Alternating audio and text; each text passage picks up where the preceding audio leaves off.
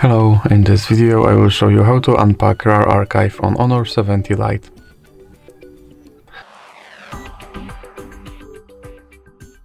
So you have to start with opening your RAR application. Now click dismiss and go to the folder that you have your archive stored in and open your archive.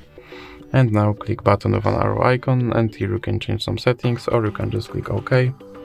And as you can see your archive has been unpacked and all files are stored in this folder. So that's it for this video, if you liked it please remember to leave like and subscribe.